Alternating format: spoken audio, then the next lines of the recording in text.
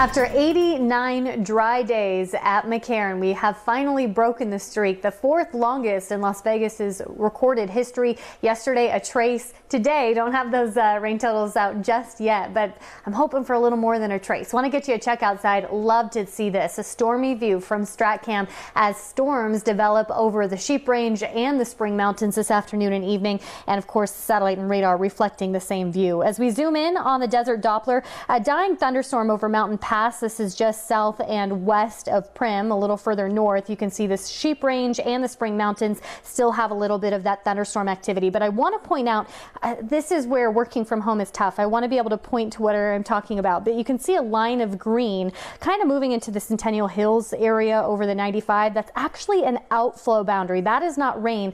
That is the gusty wind coming out of those thunderstorms over the Spring Mountains. And that is why we are looking at this fire danger. Red flag warning in place across across the region because of the gusty winds, thanks to these uh, outflow boundaries, as well as the lightning associated with the thunderstorms. That was an issue earlier today on this, the Spring Mountains. I believe we have a fire currently burning there because of the dry lightning. And then you couple that with the gusty winds, thanks to these thunderstorms, and that does elevate the fire danger. We will continue to see the thunderstorm activity off and on through this evening. Futurecast showing conditions quieting down a little bit overnight into tomorrow, but a few isolated thunderstorms possible tomorrow morning as well and then tomorrow afternoon, we do expect another round similar to what we saw today with those scattered thunderstorms, pockets of heavy rain and gusty winds. So the monsoon moisture is here and it looks like it's bringing us a few days with storm chances. Something important to, uh, to remember considering how long we went without any rain. It kind of hit us all at once and we will see those several days in a row with storm chances. Right now, 107 in Las Vegas, Anthem, North Las Vegas, 104 in Boulder City.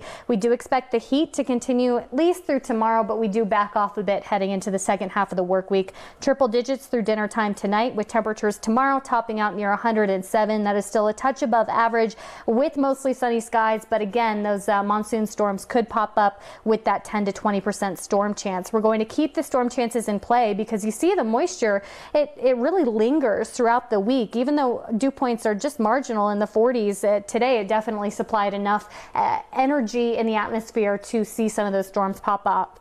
So isolated thunderstorms this evening, scattered thunderstorms possible tomorrow. We'll get a brief break on Wednesday, but by Wednesday night into Thursday, another push of moisture moving in, bumping up those storm chances. Right now, it looks like we'll dry, dry out this weekend. Temperatures uh, will back off below average again by Thursday. Ross? I feel so bummed out. I missed the rain this morning. I must not have fallen in my neighborhood.